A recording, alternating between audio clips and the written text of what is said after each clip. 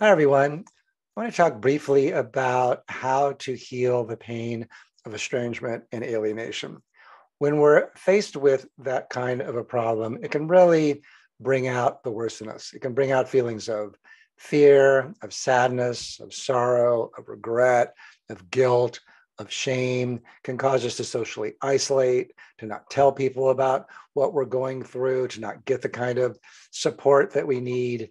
So there are a few different principles that I think are really important uh, that I found very helpful when working with parents who are, who are going through this. The first is to learn the, um, the uh, exercise of radical acceptance. Radical acceptance is the idea that there are some things that no matter how terrible they are and how much pain they cause us, we can't change. You know, you may have written a great amends letter uh, to your adult child and may have done all everything right, and your kid may still not be willing or able to reconcile with you. And so you're left with these terrible feelings of loss and sadness and regret and maybe anger. But part of what makes those feelings worse and more painful and more difficult is the way that we fight our feelings.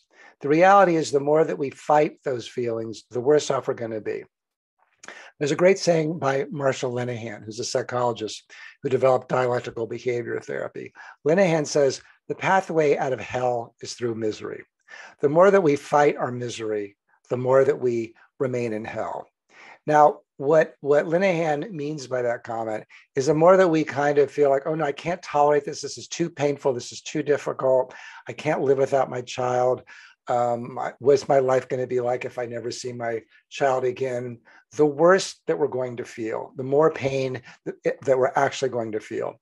There was a study that was done, um, I believe it was in Stanford, where they took two groups of people and um, they had each immerse an arm in freezing cold water, which is a very painful feeling.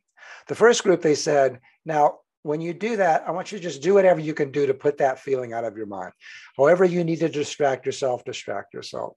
The second group, they said, now what I want you to do is really go toward that feeling, really focus on what that cold water feels like.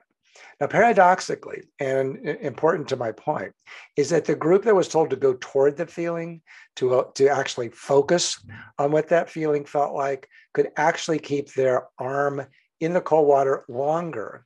And they rated it as less painful than the other group. So when we're going through an estrangement or an alienation, there's really nothing I can tell you that's going to cause you not to feel pain. You're going to feel pain. You're going to see a grandmother pushing her grandchild down the street and feel pain. You're going to look at pictures of your child when they were young and feel pain. You're going to have a dream of, rec- of you and your adult child where they reconcile with you and all is forgiven and repaired and feel pain. You're going to go to your friend's house and see them with their adult children who are very loving and affectionate and feel pain. You can't avoid any of that. What you can do, though, is learn how to manage that in a way that doesn't make it worse. And that is tied to the notion of radical acceptance. That the more that we allow our feelings to kind of come and go, the more that we label them, the more that we allow face the feeling, the shorter the duration it's going to be and the less intense it's going to be. So, another way to think about this is that um, pain, uh, or rather, that um, depression is living in the past, anxiety is living in the future, and joy and resilience is living in the present.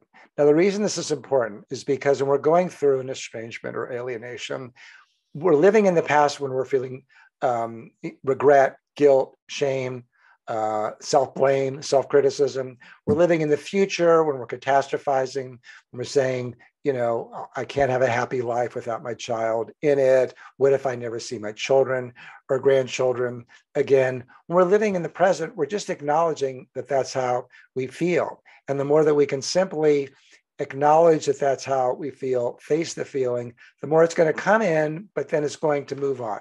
It's going to be very much like the slow, uh, the leaf that falls in this slow moving stream and gradually passes out of awareness. So I hope this has been helpful to you, and I hope that you remember these principles because they really can help. Thank you.